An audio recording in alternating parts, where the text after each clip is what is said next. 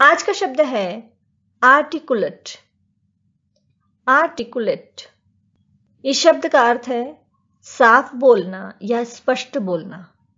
इस शब्द के उदाहरण हैं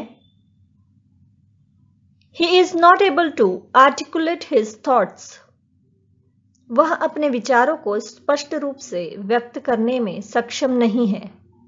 She articulates her feelings very well वह अपनी भावनाओं को बहुत अच्छी तरह से व्यक्त करती है।